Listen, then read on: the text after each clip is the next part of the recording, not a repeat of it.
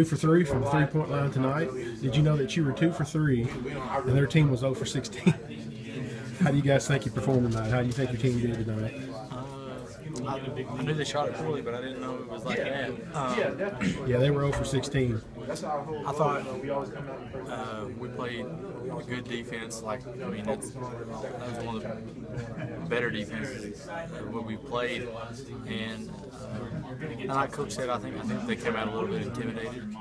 Like he said, they're not they're not they don't play that bad. They actually been they had two wins in a row before they came in here, and, they looked somewhat pretty good on film when we watched them. They looked pretty good, and uh, I just I think it was just enough.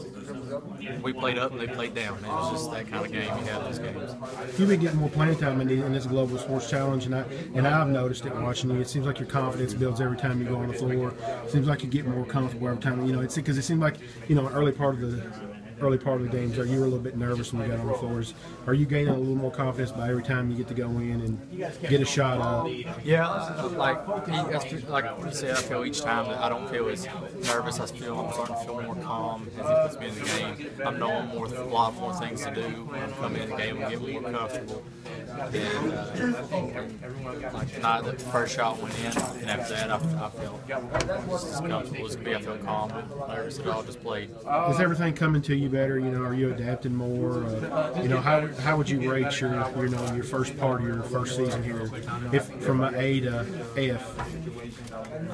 First part of the season, I was way down there, feel the confidence, the confidence going up, um, coming in. I feel my game improving a little bit, and just learning, learning how to play the game. Really. All right, well, good luck the rest of the way, man. All right, thank you.